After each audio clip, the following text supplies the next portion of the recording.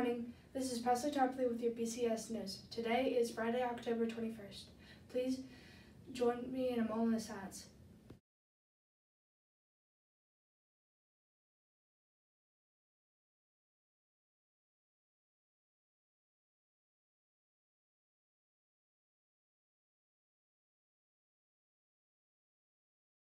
Join me and stand me in the Pledge of Allegiance to the American flag.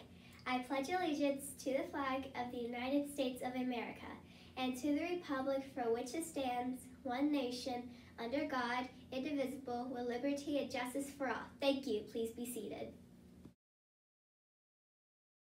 There are again no birthdays today, but people are celebrating birthdays over the weekend are Zayden Mims, Vincent Reed, Cash Daniel, and Ellis Eccles. Happy, Happy birthday! Please remember to come to office for your birthday treat. Now over to the weather. Good morning. This is Presley Tarpley with your daily weather report. The high today is going to be around 72 and the low will be around 34.